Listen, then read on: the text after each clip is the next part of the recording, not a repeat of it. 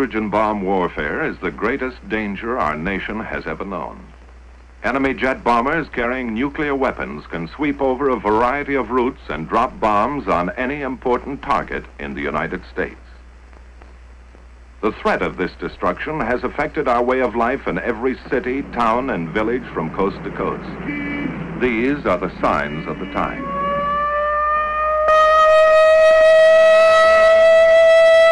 In practice now, a rehearsal, a training exercise. But tomorrow, this siren may mean the real thing. And if you hear it, as you drive in your auto, as you sit in your office, or work at your bench, wherever you are, what will you do? What will happen to you?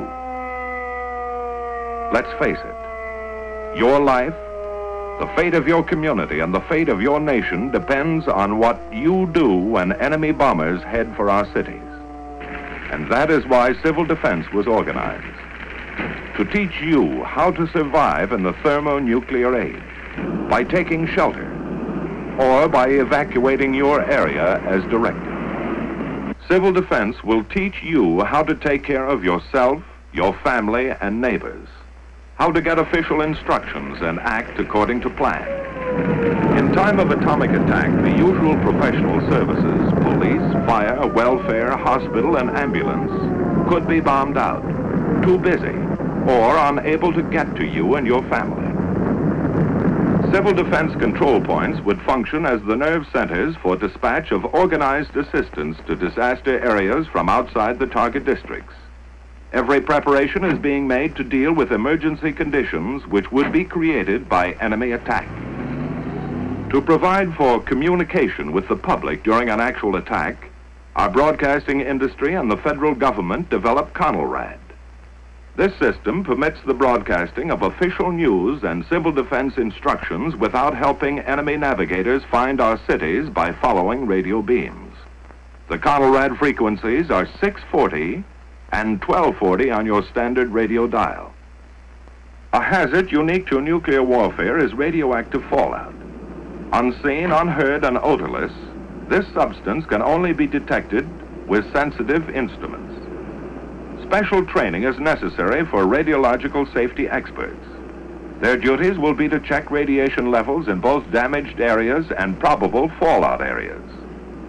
When sufficient warning time can be obtained by early detection of approaching enemy aircraft, withdrawal from key target cities or fallout areas may be ordered by local civil defense authority. The instinct of survival is inherent in all of us. And national survival requires that each one of us assume his share of the responsibility.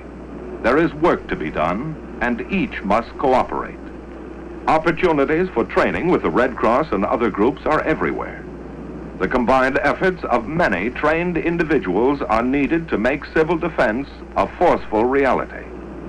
This training is invaluable in preparation for enemy attack or the savage fury of nature. Experience in past disasters has proved the value of advanced training and the need for more stockpiling of emergency food supplies, medicines, and other critical items to care for the injured and homeless. However, it was the awesome power of atomic energy as demonstrated in wartime use that brought to sharp focus the new problems concerning human survival and the urgent need for a civil defense program based on facts about the atomic bomb. Opportunities to gain this information came with the study of structures in controlled atomic tests conducted at Eniwetok Atoll in the Central Pacific. The main objective of testing is weapons development to strengthen national security, but also included are scientific experiments for the Atomic Energy Commission, military projects for the Air Force, Army, and Navy, and defense tests for the Federal Civil Defense Administration primarily concerned with the effects of nuclear weapons on cities, industries, and people. The tremendous effects of heat and blast on modern structures raise important questions concerning their durability and safety. Likewise, the amount of damage done to our industrial potential will have a serious effect upon our ability to recover from an atomic attack. Transportation facilities are vital to a modern city. The nation's lifeblood could be cut if its traffic arteries were severed.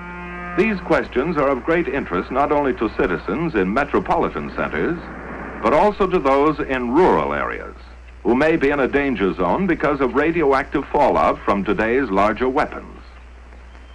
We could get many of the answers to these questions by constructing a complete city at our Nevada proving ground and then exploding a nuclear bomb over it.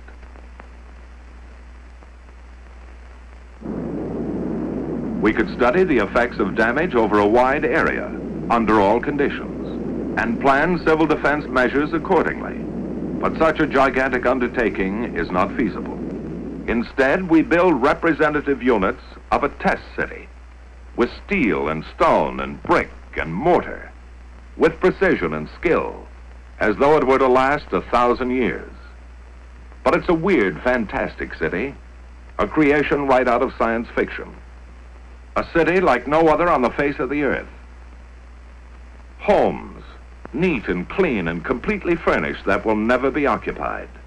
Bridges, massive girders of steel spanning the empty desert. Railway tracks that lead to nowhere. For this is the end of the line. But every element in these tests is carefully planned as to its design and location in the area. A variety of materials and building techniques are often represented in a single structure. Every brick, beam, and board will have its story to tell. When pieced together, these will give some of the answers and some of the information we need to survive in the nuclear age. At varying distances from ground zero, the point of detonation, numerous experimental elements are assembled. Underground structures and facilities of various types play their part in duplicating the complexity of the modern city. The vast research program includes testing such items as covering materials, paints, varnishes, plastics, also various fabrics and samples of clothing. On the outskirts of our test city, a synthetic forest has been erected to determine the protective value of foliage and trees to give us a ringside view of the event, high-speed cameras stand like lonely sentinels, ready to photograph the hurricane of fury. Before leaving the test area, a final check is made on the multitude of instruments and technical devices which will record a variety of blast phenomena for future study. Now, with all the elements in place, our test city is complete. From the air, its center will appear as a bullseye to the bombardier, at H hour. On the morning of shot day, official observers, technicians, and scientists gather at News Knob to await the momentous event. This is the payoff for months of planning and preparation on the part of the Atomic Energy Commission, the military services, civil defense, and other test agencies. As part of an experiment to observe the phenomenon of atomic detonation at close hand, military personnel and defense officials dig in within a few miles of ground zero. After a final briefing from the officer in charge just before H hour, the men disappear into their foxholes. Every precaution has been taken for their safety. They're told to crouch low, shield their eyes, and remain down until the signal to rise is given. Now the moment of greatest anxiety, waiting those last few seconds.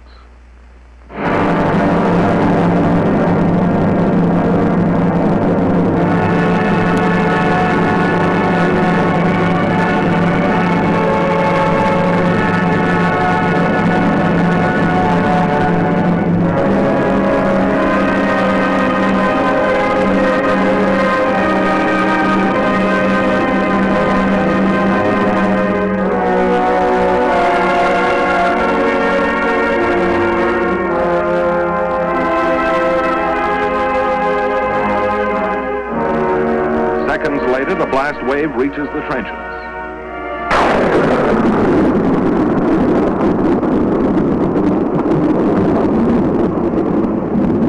As the tower of smoke and flame looms overhead, one thought is uppermost in all minds.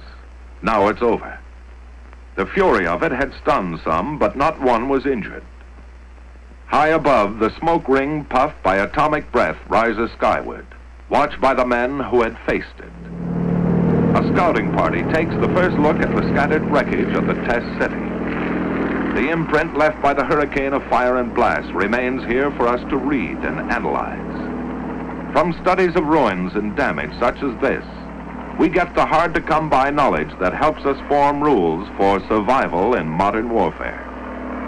While only atomic bombs are tested in Nevada, the results can be scaled for the larger, far more powerful thermonuclear weapons.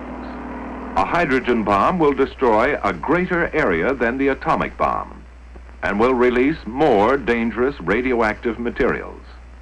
But the problems of rescue caused by blast and fire along the periphery of damage remain the same. In these fringe areas, civil defense training can save many lives lessen damage from secondary fires, and help establish emergency facilities. Now, in a helicopter, the radiological safety men measure the amount of radiation. When readings indicate safety for human beings, the troops are led in for a tour of the area. By double checking with Geiger counters every inch of the route, men can now enter safely and confidently areas spotted with radiological contamination an indication of the progress made in understanding atomic hazards. And thus, each test adds to our growing fund of knowledge. For it is only by investigating and experimenting that we get the facts to keep our military and civil defense program up to date and effective. Every bit of twisted steel makes its contribution. Blackened ruins and ashes of a structure add another chapter. The shattered wreckage of a dwelling offers an eloquent testimonial. Piece by piece, like the parts of a jigsaw puzzle, our story is assembled, analyzed, and evaluated. Then the survival facts are made available to you through your local civil defense program. In the thermonuclear age, civil defense, like military defense, must be flexible. It must develop and grow, even as the forces that threaten our existence. And so until men of goodwill have turned this awesome power to peaceful uses, let us recognize the threat to our way of life, the threat to our survival, and let's face it.